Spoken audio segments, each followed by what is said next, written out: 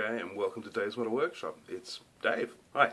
Um, just thought I'd give you a bit of an update on what I'm working on at the moment.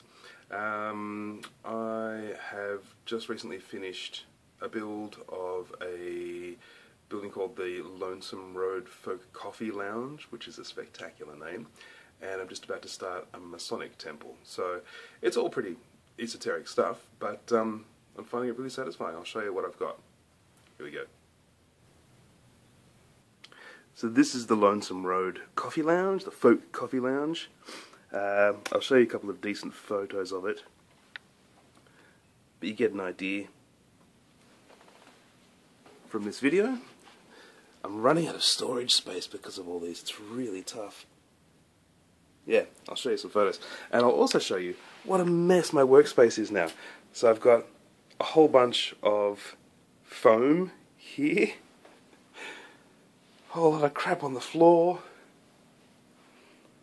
whole lot of crap here, well crap, tools, all my tools here, and then this is what I'm working on at the moment. So this is a Masonic temple here in Melbourne, and what I really like about it, um, that's the real thing, is that it's just so grungy. There's this beautiful mix of really ornate, over the top grandeur, and then it's covered in this filthy graffiti, and all the windows are broken. So I think it's a really interesting mix for me. Yeah, I just thought that was you know, something that's worth investigating. Here are all my sketches. Let's move this out of the way and show you these. So you can see where I've had to work out all my scale dimensions.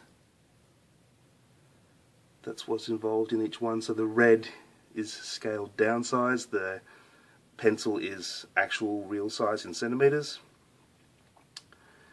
And um, yeah, I'm doing this at 135th scale because otherwise it would just be massive. Well, yeah, you can see how big the real thing is. Well, the real thing, the scale thing is here. It's about 35 centimeters long. Let's check. Yep. 34. So once there's a base on that, it's going to be about 37, 40 centimeters. So it's big. Um, yeah, but I'll show you some decent photos now of the Folk Coffee Lounge.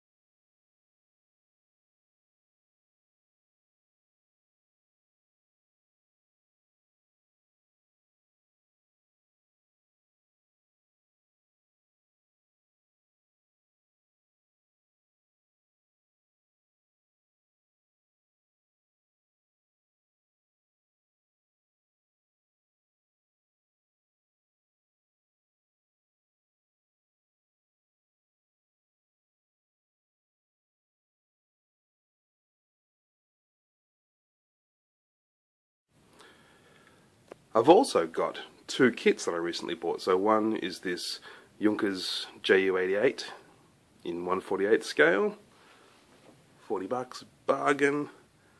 And the other is this Wingnut Wings AMC DH2, complete with figure, 132nd scale. So both of these I'd really like to build and when I started building all of these things I thought when I started building my, my miniature buildings, I thought, oh, I'm going to need a break from this. I'm going to be doing this, you know, five, six days a week. I'm going to need some time to actually build model models, you know, kits. Um, I thought this won't be satisfying. This will be like a job to me. You know, I'll need a break to actually do some enjoyable modeling time. Hence, spending a chunk of money on this, and hence getting a bargain on this. This only arrived about a week ago. Um, but I haven't felt the need. I I really enjoy when I'm making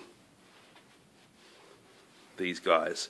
Um, so much so that I, I, you know, I want to build airplanes because I love building airplanes, but I love scratch building more. I really want to get in and start you know, building these. If I have any spare time, these are what I want to be doing. Oh, I'll show you something cool.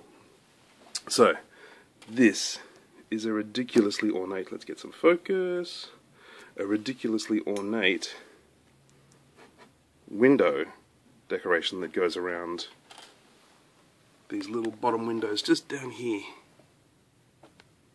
And everything on this building is so ridiculously tizzy and ornate. All that decoration. I reckon I'm going to be spending days just making decorations for this. Which is, you know, I guess part of the reason I like the building. So yeah. So yeah, I'm really enjoying building these things and I'm surprised myself that I'm not spending, uh, feeling more of an urge to get onto these guys. Ouch. They're just sitting there doing nothing after $150. Um, yeah, I'm really not feeling. Uh, yeah, I, I, would like to be building a Wingnut Wings kit, but I'm loving scratch building more, which is a very satisfying problem to have. But um, I am surprised, I really am. So, yeah, that's where I'm at. Um, I'm loving scratch building miniature buildings. Uh, I still am tempted by these things, and I'm still adding to the haul, which is ridiculous. but I'm not feeling the need to be building them um, because I'm enjoying these more. Who knows? That might change, but yeah, I am surprised that I didn't that it didn't work out that I need model kit relief from scratch building. Just goes to show how good scratch building is. Everyone should try it. Alright guys, so that's where I'm at today. Um, I'll sign off now. If you've got any questions or comments, please chime in below. But otherwise, I'll catch you next time on Dave's Model Workshop. See you later. Have a good week.